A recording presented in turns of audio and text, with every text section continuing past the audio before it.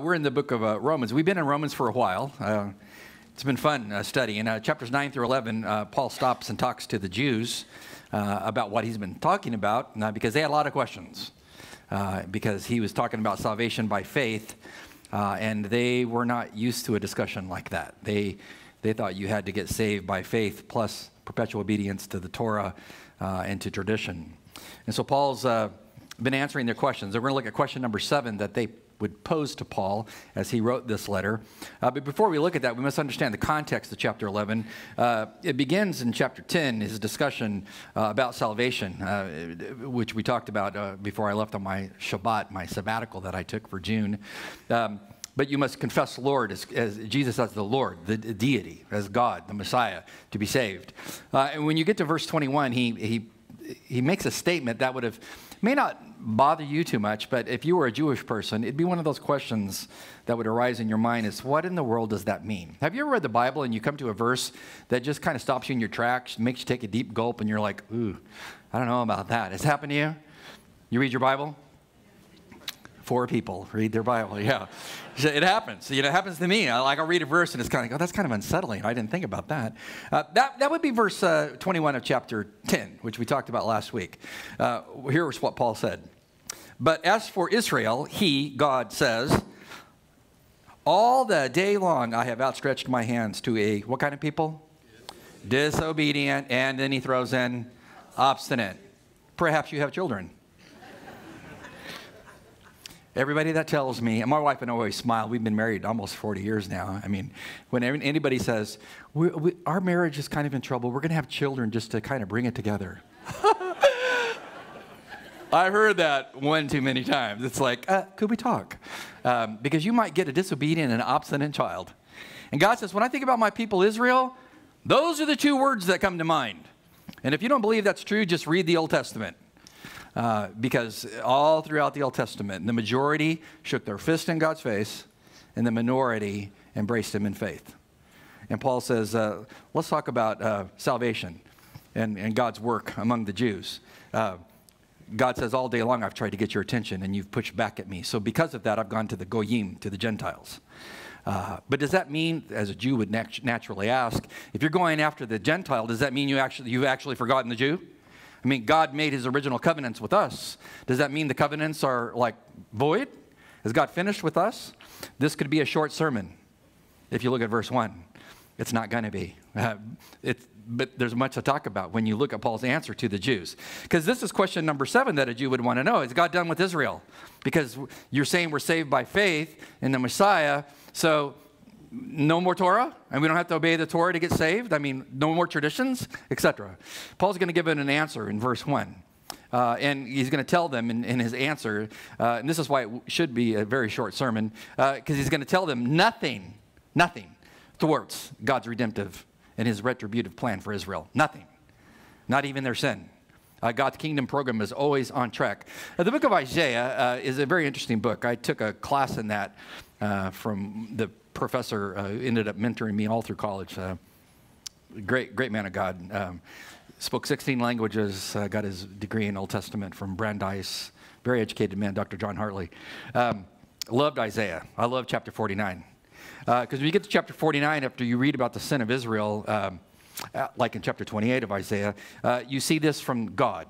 What does God say to Israel that's about to go into Babylonian captivity?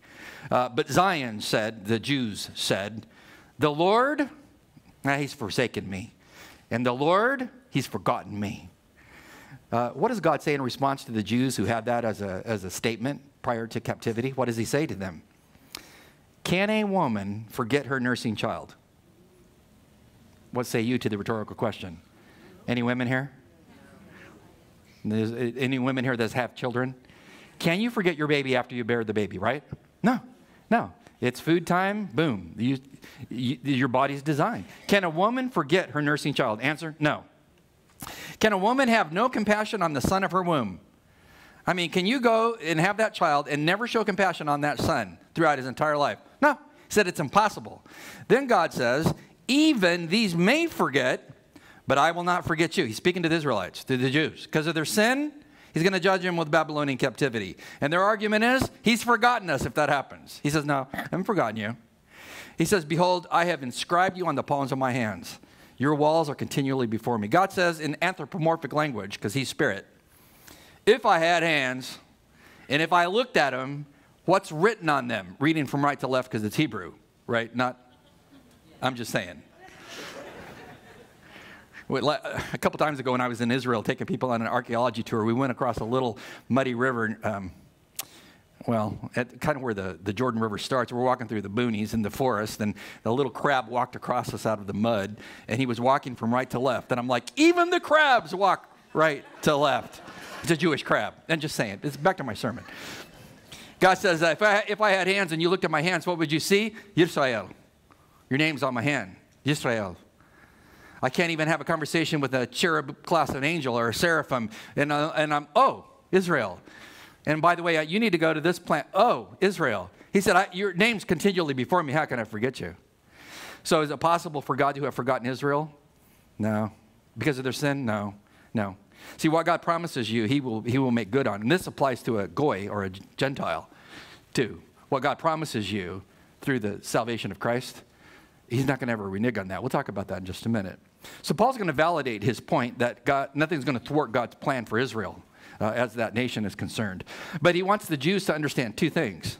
Number one, that God cleanses the minority within the cultus of Israel, within the nation of Israel. At no time in history was he looking at the entire redemption of the country. I mean, I'm talking every single Jew saved because they have a free will. What does man do with his free will? Well, some of them embrace God on God's terms, and the majority, well, they shake their fist in God's face. So he says, let me under, let's talk about this from a Jewish perspective, Paul says. Has God forgotten Israel? No, is what he's going to say. Verse 1 says, I say then, God has not rejected his people, has he? That's the statement of the Jew.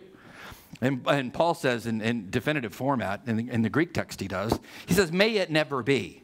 Exclamation point. May it never be. Um, if you um, want to learn some Greek, this would be what you'd want to learn as a parent if you have children. Because may it never be is the strongest way to say no way, that ain't never happening in Greek. Uh, my dear daughter, love her to death. I bought her a car, it was almost brand new, Honda Civic. Within short order, she had wrecked it twice. Yeah, and she didn't get hurt.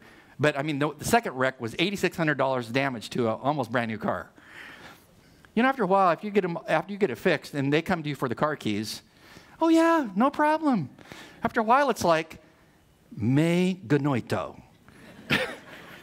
genoito. No way is that ever happening in time and space. That's what Paul says. Has, that's why I said this should be a short sermon. Has, has God forgotten Israel? His answer is, me genoito. See, you say this with me?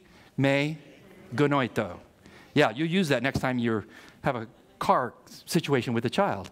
Paul says that, that just absolutely can't happen. God can't forget them. Why? They're engraved on his hands. Now, there's a lot of people in our world today who think God has forgotten Israel, right? I mean, Islamic teaching, what does it teach? I mean, I've read through the Quran. What does it teach? Well, that, you know, the Jews are evil, corrupt people, and they've abandoned God. Because they've abandoned God, they've rewritten their scriptures to make them the preeminent one, not Ishmael. And they're, they're the sinful people, and they wrote out Muhammad coming and all that kind of stuff. They're really God's people, not the Jews, etc., etc. And if we just get them off the world scene, there's shalom, peace. That's not what God said. What did he say? Your name, Israel, is always before me. My, your name. God's always going after cleansing the minority, not the majority, because majority rejects him. So let's look at verses 1 to 7, Paul's argument here about God working through the minority, where he doesn't forget Israel. Paul says, and it's really kind of an interesting argument, a child can understand it. He says uh, in verse 2 uh, God has not rejected his people whom he foreknew. And prior to that, he said, uh, for I too am an Israelite. Uh, he said, I was a descendant of Abraham. I'm, I'm, from the tribe of Benjamin, and God foreknew me. So if God foreknew me and I didn't have to do works to get saved, and I'm a Jew and he saved me, I'm a living illustration that God loves uh, Israel because I got saved post Christ. What tribe is he from? Benjamin. Who's his forefather? Abraham. Abraham. He's, that's his father. He said, I'm a Jew, but I'm saved. So I'm a living illustration that God loves Israel. Uh, tribe of Benjamin. I love that tribe. How many tribes were there? There were 12. This was the left handed tribe. Right? You know this? Uh, when you study the Old Testament, you understand that the tribe of Benjamin, they were left handed. Uh, they loved them. Any left handers here? Praise God for you. Yeah. I'm left handed. Darren's left handed, etc. Um, there's not many of us. You know, uh, why would they use a left-handed person in the Old Testament? Well, when you study fort, fort, fortification structure, which I teach when I go to Israel uh, with people, um, when they build a, a, a, fortification, it's not a gate that you just attack straight on. They would build a wall and a gate, and then they would build a complex outside the gate, and then the gate was on the side. For? Uh, most people are right-handed. What hand is your shield in? This is a military church. You should totally know this. Don't you still use shields? Uh, your shield, if you're right handed, is in which hand? Left hand, okay? So if you're attacking a wall with archers and the wall is right in front of you, but the door is to the left, what do you have to do with your body? You have to turn to the left. Your shield is in your left hand, your sword is in your right, you're exposed to the archers, you just met God. You died. So, what's up with the people from Benjamin?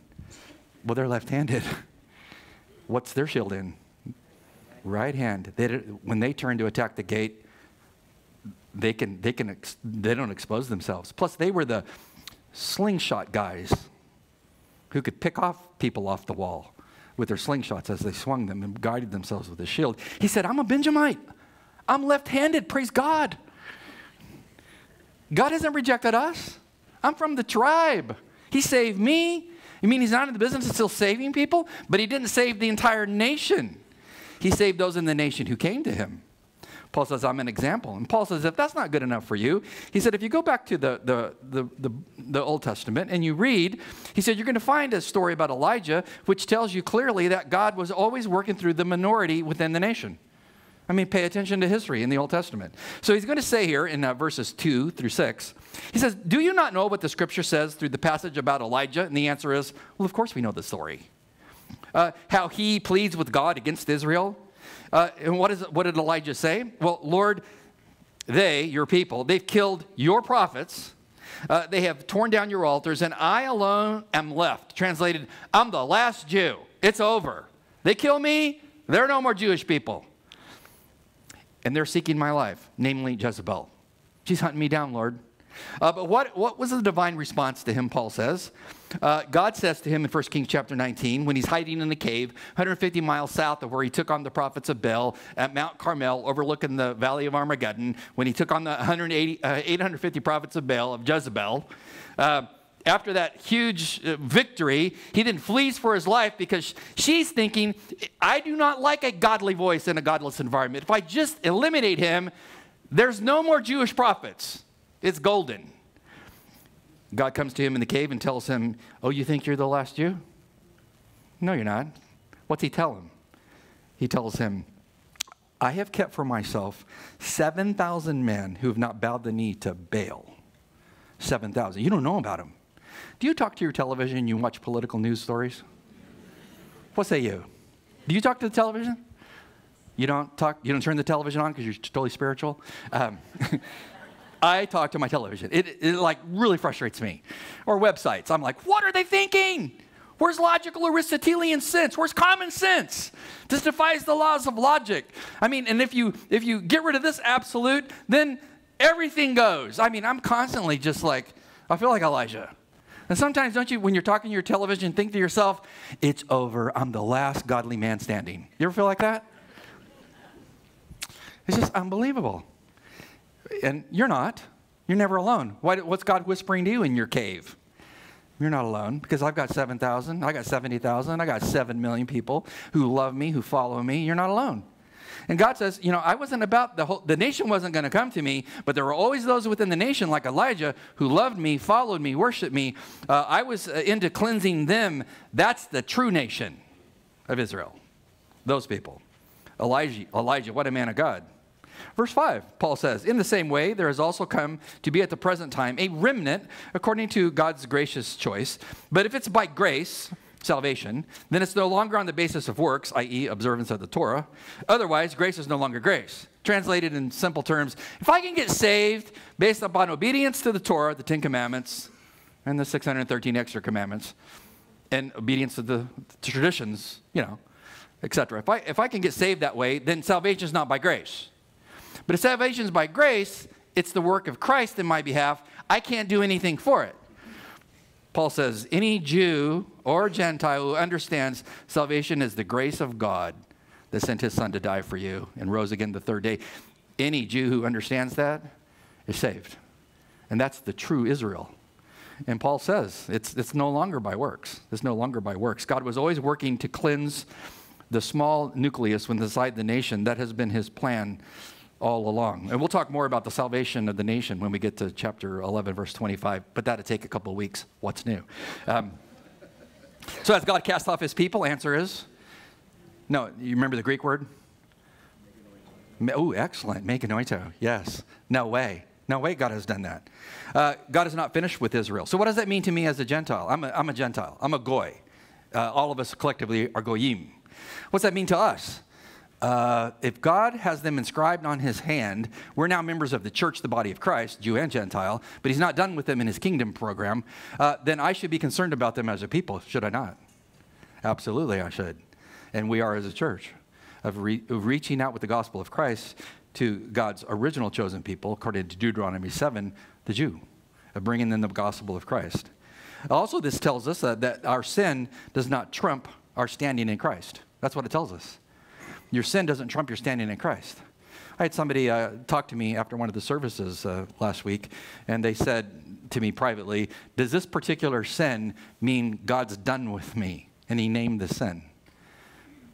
And I said, If you have a dad and you sin against your dad, and you go to your dad and you say, Because I've done this heinous sin, is your dad going to be able to tell you, You're not my son? It's impossible.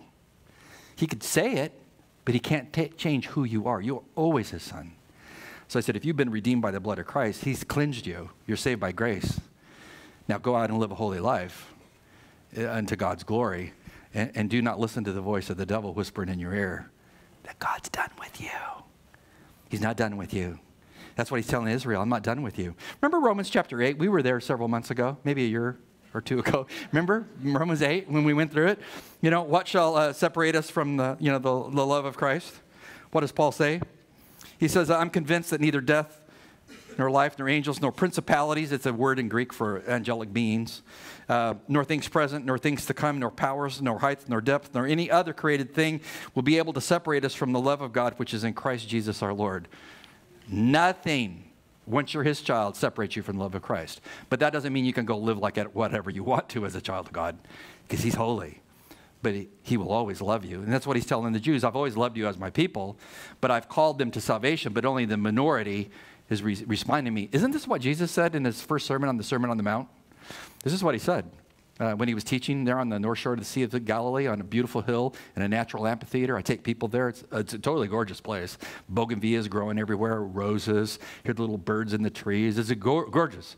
And you can hear the wind blowing through the tall grass. And Jesus said there at Matthew 7, the, the path to destruction is wide. Everyone is on that. The path to life, narrow. Few find it. See, that was the minority within Israel that came to God on God's terms. He was always about cleansing that minority. He's still working that way today. The majority pushes his back against the gospel, even in our day and age. And it's the, it's the majority does. The minority is the one who says, Lord, I hear you softly, tenderly calling my voice, and you come to him. God uh, finishes this uh, passage out with Paul's second argument to validate the fact that God's not done with Israel, to move beyond the fact that God uh, cleanses the minority, now he's going to tell them that I need to caution the majority. See, in, in wrath, God always remembers mercy. So he's not going to judge you in eternity because of your sin and rejection of him without warning you, you need to come to him in faith. He always does this. So when you get to verse 7, Paul says this What then? What was Israel seeking that it has not obtained? But those who were seeking, is implied, uh, they, the chosen, they obtained it and the rest, they were hardened. Paul says that, think about this for just a minute. He said, take note and be warned about our history. He says, when you think about the Jewish nation historically from the giving of the Torah forward, what were they seeking? They were seeking salvation by faith in God, Elohim, Yahweh, and works. That those two things combined, they believed if I observe the, the, the, laws, the Ten Commandments enough, and if I obey those 613 other Mosaic commandments, and I make sure that at my house we understand uh, Passover and all, Feast of Tabernacles, and we observe all these things, then those religious works will garner favor with God and we will be saved one day. But Paul says, what was Israel seeking? What were they seeking? Salvation based on faith in God plus religious works. Paul says they didn't obtain righteousness that way. Why? Because you can't get saved that way. That's Paul's argument in the book of Romans. He says, But those who were chosen, they obtained it. I mean, the ones that God decreed, you will follow me, when they came to him in faith, they were saved, but they got the righteousness of Christ, uh, which Paul talks about in 1 Corinthians chapter 1, verse 30, that in Christ we have his righteousness. You can't manufacture your own righteousness. Uh, this is a picture I took uh, of many of these in Israel, and this is kind of looking down, uh, so it's kind of an odd angle because I didn't want to walk down into that water. Can't imagine why. Uh, that water is just water that's been sitting there forever, so I don't even know what's growing in it. But uh, this is at the, uh, when I take people to Israel, we go to the southern wall, which is where the steps to the temple uh, to go worship God back in the day of Christ. Uh, and there were these uh, ritual baths, they're called mikvahs. Uh, they're all over the place. And so you would want to get cleansed as a worshiper of your sin. So you you would one line would walk down into the water, you would submerge yourself, and then you would come out of the water, and then you were spiritually cleansed. Did that water cleanse you? Did it wash away sin? No, no. It's just a traditional ritualistic thing that you did. And Paul says uh, you, Israel sought righteousness by things like that, but it didn't save them. Now, here's another illustration of a picture I took as I was uh, on the Temple Mount one day with my tour group last time I was there. Heard all this music and drummers drumming and festive people singing. It was awesome. I'm like, what in the world? Uh, and uh, these cars were pulling up, and multiple people were coming out, and this little tent structure, like a chuppah, is, is raised, and they're walking with a young boy under there. Uh, this is his bar mitzvah. So I followed him with my camera, took tons of pictures. Hope I didn't bother him, but I'm click, click, click. This is awesome. And they go all the way over to the Wailing Wall, and uh, there's a fence up there that divides the men from the women, and the young men go behind the fence, and huge Torah scrolls, and it's, it's bar mitzvah day you have to watch this thing and think, this is awesome to behold. But for that young man to get bar mitzvah, did that save him? No. It's a religious work. But Paul says it, that kind of pursuit does not save. It doesn't, you can't obtain salvation that way. Why? Because you are sinful and there's no amount of works you could do to cover all of your sin. Uh, Paul has this argument in Galatians chapter 3. Uh, here's how he puts it. For as many are, that are under the curse of the law are, are, are under it, are, uh, as many are of the works of the law are under the curse of the law. For it is written, Cursed is everyone who does not abide by all the things written in the book of the law, to perform them. So to be accepted in God's sight, you must perform all of the law. But the problem was the 10th commandment's a really hard one to obey. What is the 10th commandment? We do test here at our church. What, what is it? You shall not covet. You shall not covet. That's internal. That's internal. Because you can say, hey, I got the other nine down. No idols at my house, etc. You get to the last one, internal. All, your, all that has to happen is your neighbor gets a brand new sports car, and you're a car guy. And you're looking over there going, got to have me one of those. What have you just done? You're not even going to talk now. Now you're quiet. You sinned. I got to have me one of those. No, no, no. You start coveting. You start coveting. And so you can't, you can't get saved based upon your performance because you're sinful and you're always going to do something that shows you're sinful. And so Paul's, that's Paul's argument. He says now in, uh, in Galatians 3, now, uh, now that we know that no one is justified by the law before God, it's evident. He says, The righteous man shall live by not works, but by faith. However, the law is not of faith. On the contrary, he who practices them, the law, shall live by them. You want to get saved that way? Give it a good shot. He said, I used to do it. Doesn't work. He said, Christ redeemed us from the curse of the law, becoming a curse for us. See, Jesus fulfilled the law. Why? He obeyed all the Ten Commandments, externally and internally. He obeyed the other 16 and 13 commandments. He never sinned because he's God in the flesh. He bore your sin. Paul says you must come to him in faith to be saved. The Jews tried to get to God based on their works and they're not saved, but the minority are cleansed when they come to God on God's terms. So Paul says if you don't follow God on God's terms to come to Him in faith, what happens by definition? Well, he just said in that verse, the rest were hardened. The majority were hardened. This is a scary thing. Um, from playing sports when I was growing up, uh, I was a baseball player and I also wrestled in high school some. Um, but when you play baseball, uh, you get lots of calluses, and I played since I was a little kid. So you get a lot of calluses on your hands. I remember the first blisters I had on the inside of my hands from batting practice. I mean, the whole inside of my hand from hitting hundreds of balls. I mean, all the time. Uh, I remember how bad that hurt, thinking, why would people want to play baseball? and then after a while, they went away. They're still there. I'm 61 years old those blisters are still there because I still use my hands like that. But, but I can't feel. You could stick pins into my hands, and I think we had a picture of this. Did he already show the picture? Are they listening to me? Yeah. There's an angel somewhere who listens and see the calluses?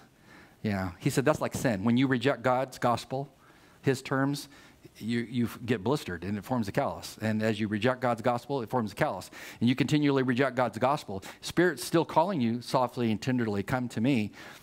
You get to where you can't hear him because your sin of pushing back against God has totally callous your heart and your mind to him. That's not a good place to be. Uh, is that you? See, that was the Jews, Paul said. You have pushed back against God so many times, you're not even listening to him anymore. Verse 8, Paul says, just as it is written, He's quoting here from uh, Isaiah chapter 29.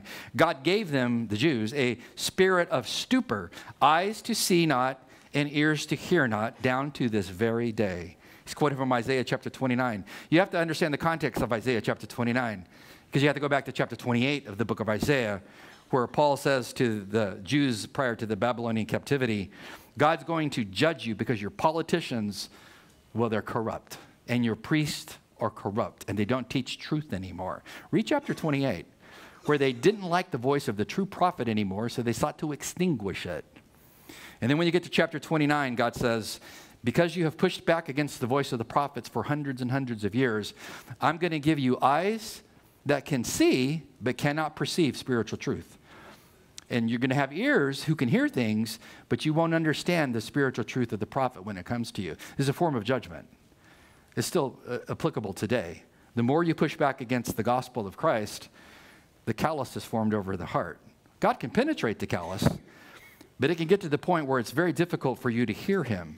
You can see and not understand what you're seeing, hear, but not understand what you're hearing. What in the world was Marty talking about for 30 minutes today? Ever go home think that? No, never, right? Verse 9. He said that David even warns us. He quoting from Psalm 69, a messianic psalm. It says, uh, Let their table, the table of those who push back against God, let their table become a snare and a trap and a stumbling block and a retribution to them. Let their eyes be darkened and see not and bend their backs forever. Under the weight of their sin is the implication. He says, uh, what, what should happen to those who constantly shake their fist in God's face? Well, eventually it gets to the point where he says, That which they think shall uh, save them one day, their religious works, will be that which judges them that it will be a shock to them. Let, let it become back to them. Have you ever set a trap and you triggered it as you set it? Have you done this? Or you don't set traps? Do you know how many chipmunks are in Virginia? yeah, There and I'm a turf guy, and they like to dig holes. It just drives me insane. Because you get one chipmunk, you've got 30. Am I right? Now, don't start getting all compassionate on me and stuff, okay? I can just see it now. Oh, they're so cute. Yeah, they're cute, all right. They are digging machines. But anyway, I set in a trap the other day and I put some peanuts in it and I slid it underneath a spot where I knew they would kind of frequent. And as I'm sliding it under there, I triggered that thing. Scared me to death. And I didn't even knew what I was doing. So peanuts flew everywhere. I'm like, are you kidding me? There's chipmunks are probably laughing at me. So I got the trap, put some more peanuts in it, slid it back under there. Bam! It went off again. I'm like, I got a, I got a doctorate and I can't even set a trap. Eventually got it underneath there. But the trap was becoming my trap, was it not?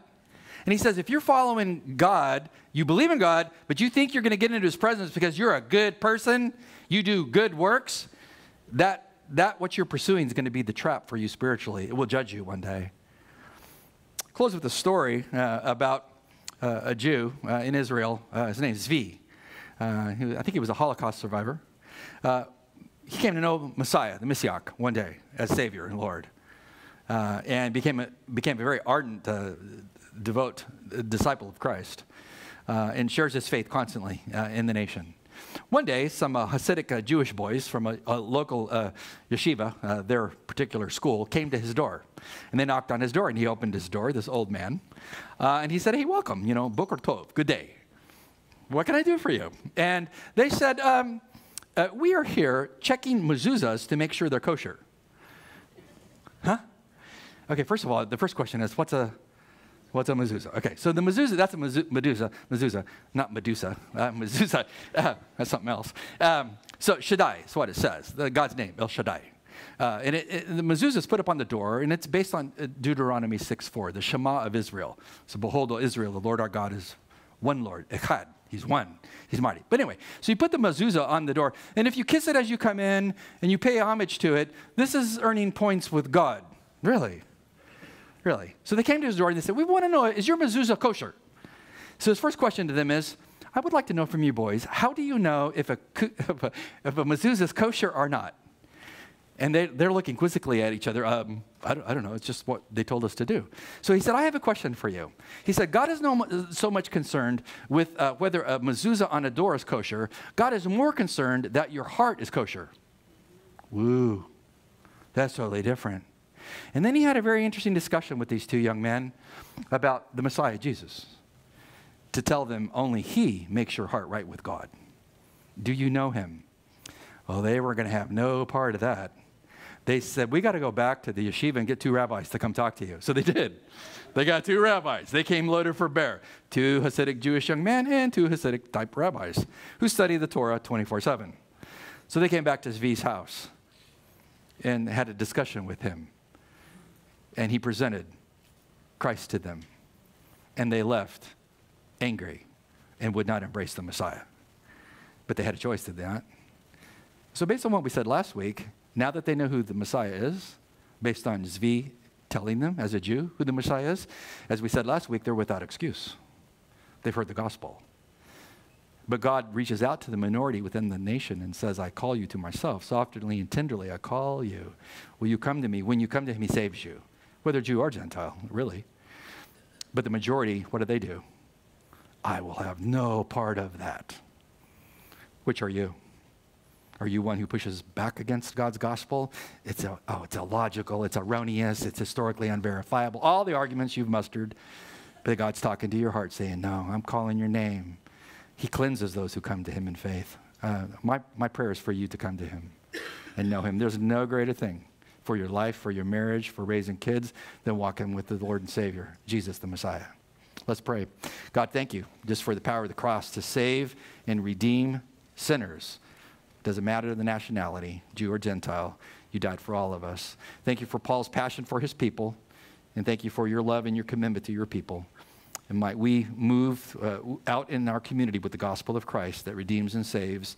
And for those in our lives that we know that don't know you, might you truly, softly, and tenderly call their name until they come home to you in faith. In Christ's name, amen.